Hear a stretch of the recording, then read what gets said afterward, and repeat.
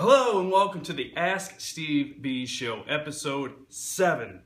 I'm your host, Steve Burnett, author of How to Double Your Business Without Making a Sale, and consultant to painting companies just like you, helping you double your business and install tech to help you get down to a 30 hour work week. Don Goddard writes in and asks, Steve, if I'm a business owner, how do I know who to market my business to? And how do I narrow down my marketing to that group to get the most out of my marketing dollars? Don, thank you for writing in. That's an awesome question. I took that and for the sake of time, I tried to simplify it and call this episode How to Find Your Target Market. So let's get started. Step one create a spreadsheet and enter your customers' database into it. Just customers, all of them, whether it's three or 300 or 3,000, enter them all in here.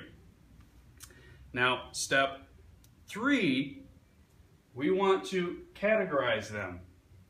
And the first one is going to be the most profitable, okay? So as you list your customers, you want to go through and enter which one's most profitable. So Smith may have been one of your most profitable, okay? Next, you want to go through and add another column called easiest to set up. And this is really key too, to get down to the 30 hour work week, even with all the tech is, you want to sort and categorize all the jobs you've done by easiest to set up. There are some projects that are very difficult to set up, and then there's some that are pretty easy to set up, right? Well, your time's valuable, so we need to qualify your time. Not just find your target market, but get you down to 30 hours.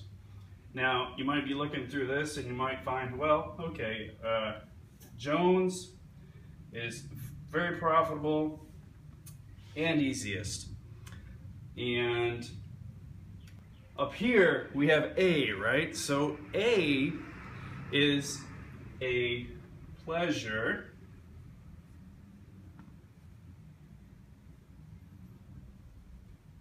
to work for.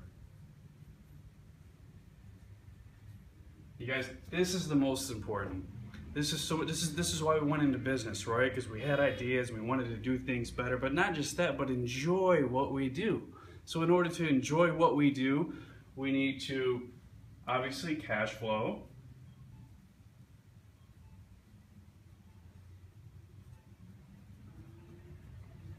And we need to have time to set up the jobs.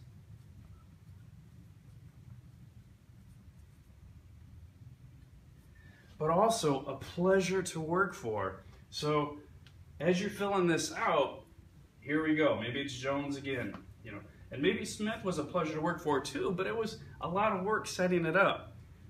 Go through and fill out your entire database and, and, and who are not, and go ahead and highlight them when you find them. When you find your winners, you find your target market. That's great. And then also take note on the ones that do not have anything, okay? Like DB Builder here. Anybody want to take a guess what DB means? So DB Builder, nope, nope, nope. And not everyone, okay? But 99.9%, they're paying the butt. You builders, man, we know they're a pain in the butt, right? You can't set them up. You can't schedule them. Profitable, the truth is, if you ran your numbers and if you knew your operating costs, there really is no profit in there for you. And very, very rarely, with a few exceptions, are they a pleasure to work for. So as you go through, you'll find that these guys will fit in that category. So what I would encourage you to do is just step up your marketing.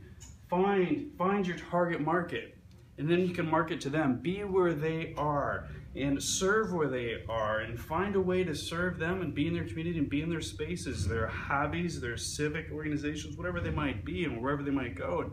And you might find it's a certain neighborhood or a certain city, but be where the fun, profitable, easy customers are. And that will be your target market. Now, as you're going through this, here's something really cool that you're going to find. And that is this. The 80-20 is the Pareto principle. I believe it's P-A-R-E-T-O, Pareto principle. as you fill this out, you're going to find that 80% of your profit, your setup, pleasure to work for are going to come from 20% of your customers. So you want to invoke the Pareto principle, find that 20%, and then work for just them. Serve just them. Your life will be much easier, more peaceful, more profitable, and that will be your target market. You find your target market, okay? And you will be able to double your business and get down to 30 hour work week. Don, I thank you for your question. Because it was selected, you receive a book.